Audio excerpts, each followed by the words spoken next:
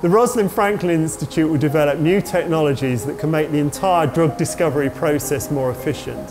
What we're going to do in this project is to really harness robotics to um, explore hundreds or even thousands of reactions at a time.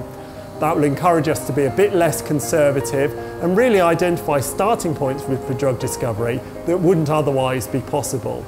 Of course, what that will allow us to do is to develop new drugs that can really make a difference to the lives of patients. So what the RFI will really allow us to do is to collaborate on a grander scale than is currently possible. It will allow us to work with many different companies and many different universities to develop new technologies that will really revolutionise the sector as a whole.